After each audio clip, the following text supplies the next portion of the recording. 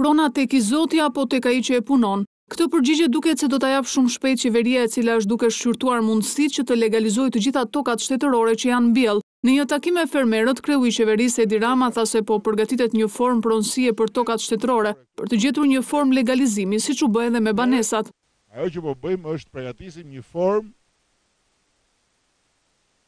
pronësie, marrje në përdorim, nuk e di ekzaktësisht sot ta them, por po punojmë, që t'i njihet e drejta atyre që i kanë mbjellë, që i punojnë, i kultivojnë dhe me to jetojnë. Rama përsëriti thirrjen ndaj fermerëve që të bashkohen jo vetëm për shitjen e prodhimeve, por edhe për të mundësuar përthithjen e fondeve nga Bashkimi Europian.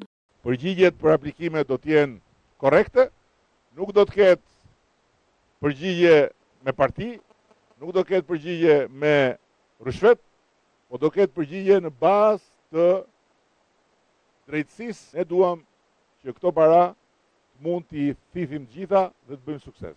Kreu i Qeverisë pranoi se hapja e aplikimeve për subvencione në agroturizëm ka qenë e vonuar dhe për këtë arsye, tha ai, por edhe interesit të lartë, afati i aplikimit është shtyrë me një muaj.